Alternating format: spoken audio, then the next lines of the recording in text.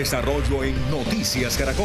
6 de la mañana, 23 minutos, cuarto día de paro minero y de campesinos en el país. Siete departamentos afectados y ya se empiezan a ver también los efectos en las distintas carreteras, producto también de desabastecimiento de algunos alimentos. Uno de los departamentos más afectados en medio de este panorama, difícil panorama, es el departamento de Antioquia. Por eso a esta hora establecemos comunicación con Yarley Marín. Él es el vicepresidente de la Mesa Minera de Segovia, líder de mineros en ese municipio que es por excelencia minero en ese departamento. Yarley, gracias por ese contacto a esta hora con nosotros. Cuéntenos cuál es la situación que tienen ustedes en este momento y alrededor de cuántos mineros están protestando hoy.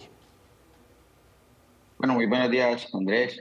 Eh, pues en nuestros territorios, en el nordeste antioqueño, nos unimos en una sola voz y ya no solamente somos el territorio de Segovia o nordeste, ya hoy nos unimos en la Coordinadora Nacional Minera, donde aproximadamente tenemos más de 35 mil personas en siete departamentos y se vienen más subregiones y regiones, departamentos con eh, mineros y campesinos que se ven afectados por el decreto 044 y por el tratamiento a la problemática de la minería ancestral y tradicional en nuestros territorios. Eh, Yarley, para claridad de los televidentes, ¿ese decreto 044 es el de zonas de reserva minera? Ese es el de zonas de reserva minera. Bueno, expliquémosles a los televidentes cuál es el pliego de peticiones, cuáles son las razones de protesta de esos 35 mil mineros en diferentes departamentos. Usted acaba de decir, esto no es solamente en Antioquia, es la minería eh, en Colombia de pequeños y medianos mineros. Bueno, en nuestro pliego de peticiones, el primer punto tenemos proteger la vida de los líderes, ¿cierto? Y no criminalizarlos. Hemos visto cómo en nuestro país eh, por hacer una actividad, por reclamar, nos vinculan con grupos al margen de la ley y hay un sinnúmero de estigmatización. De hecho, la minería está estigmatizada y nosotros lo que hacemos en los territorios es garantizar nuestra seguridad alimentaria.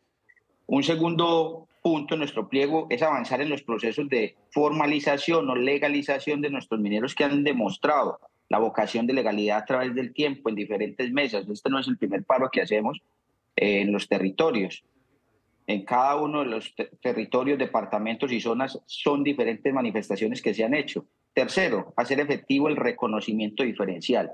Los mineros ancestrales y tradicionales de los territorios estamos solicitando un enfoque diferencial de acuerdo a las normas que hoy tenemos, al bloque constitucional, que no nos dejen por fuera, no pueden eliminar una cultura por proteger el medio ambiente. Nosotros somos parte del medio ambiente y queremos seguir también garantizando ese tratamiento y cuidar esas áreas que se deben de proteger. Yarley, Cuarto, reconocer. Sí, señor, sí, adelante. Cuarto, reconocer los mecanismos jurídicos necesarios para reconocer las vocaciones pesqueras, pesqueras, agrícolas, pecuarias en distintas partes del mundo, porque la minería converge no solamente con la actividad metálica, sino también con la actividad cultural, ancestral y tradicional en muchos territorios. Quinto, tenemos que instalar y adelantar mesas departamentales, porque si bien hoy estamos hablando de unas problemáticas del orden nacional, también tenemos unas problemáticas del orden departamental que se deben avanzar en esas problemáticas, pero luego de abordar el tema a nivel nacional. Sexto, es que se socialice con los mineros los cambios de las propuestas y regulación minera, lo que tiene que ver con maquinaria amarilla. Hoy tener un equipo no nos convierte en criminales.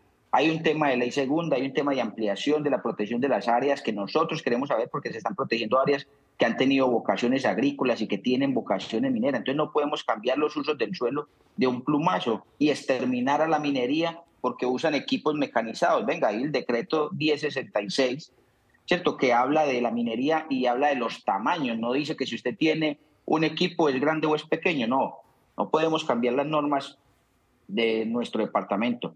Hoy hablamos en el séptimo punto es limitar esa aplicación de ese decreto de 044, hablamos del 1035, que si bien en el bloque constitucional tenemos, sí. Yarley, estamos viendo en algunas imágenes que los televidentes también podían apreciar esos efectos en los bloqueos en las vías de Antioquia. Son miles de toneladas de productos que están represados, que impactan a las, a las distintas regiones del país. Ustedes ayer se quedaron esperando al ministro de Minas, que tenemos entendido por factores climáticos no pudo llegar a Caucasia. ¿Cuál es la expectativa que tienen con él hoy en esa reunión que van a sostener y con los otros ministros que alcancen a llegar? Y también ese llamado que ustedes le están haciendo a las personas que están, a los mineros que están protestando en las vías? Bueno, obviamente eh, la movilidad se está viendo afectada, se ve reducida. Eh, nosotros estamos en todos los puntos orientando a nuestras comunidades que lo hagamos de manera pacífica.